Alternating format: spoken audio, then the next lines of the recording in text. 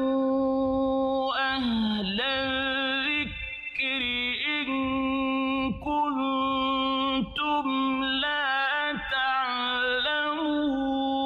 تعلمون ওয়ালাইকুম আসসালাম রহমতুল্লাহ বারাকাতু দুবাই থেকে সুমন সাহেব জানতে চেয়েছেন যে আমরা প্রবাসে আছি এখানে চাকরি কর্মস্থলে আহ, অনেক সময় মিথ্যা কথা বলা লাগে আর মিথ্যা কথা না বললে গালি শুনতে হয়।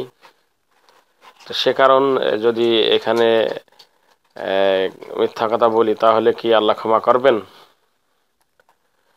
আর মিথ্যা বলা পাপ এটাও আপনি জানেন। এটা ছিল প্রশ্ন।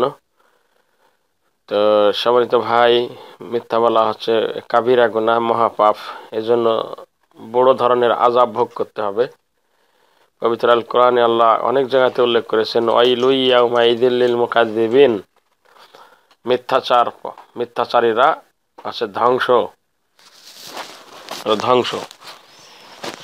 আর মিথ্যা বলার শাস্তি আল্লাহ রসুল সাল্লাম তাকে দেখানো হয়েছে। মিথ্যাচার ব্যক্তি বসে আছে আর একজন ব্যক্তি তার গালের ডান দিক থেকে এবং বাম দিক থেকে ফাড়িয়ে পিছনের দিকে নিয়ে যাচ্ছে। এরকম অবস্থা দেখেছেন। তো এটা মহাপাফ কাফিরা গুনাহ। বুখারি, মুসলিমের হাদিসে এভাবে এসেছে, আল্লাহ রসুল সাল্লাহ সাল্লামকে দুজন ফেরেস্তা এসে বাহু ধারণ করে নিয়ে যায় একটা দূরবর্তী উচ্চ ভূমিতে। সেখানে দেখা গেল যে একজন একজন ব্যক্তি বসে আছে আর এক ব্যক্তি তার গালের ডান দিক ফেড়ে পিছনের দিকে নিয়ে যাচ্ছে এবং বাম দিক ফেড়ে পিছনের দিকে নিয়ে যাচ্ছে। ধারালো অস্ত্র দ্বারা। তো এই ব্যক্তি মিথ্যাচার ছিল। তারপরে জাহান নামের আজাব তো রয়েছে। এই জন্য সকল অবস্থাতেই মিথ্যা হারাম। তবে তিনটি জায়গা ব্যতীত সেটা আল্লাহ রসুল বলেই দিয়েছেন। ঝগড়া, ফাসাদ, মীমাংসা করার জন্য এখানে মিথ্যার আশ্রয় নেওয়া যায়। কাফেরদের সাথে যুদ্ধ করাকালীন তাদের সাথে মিথ্যার আশ্রয় নেওয়া যাবে। অনুভাবে স্বামী স্ত্রী একে অপরের ভালোবাসা বৃদ্ধির জন্য কৌশল আর কি।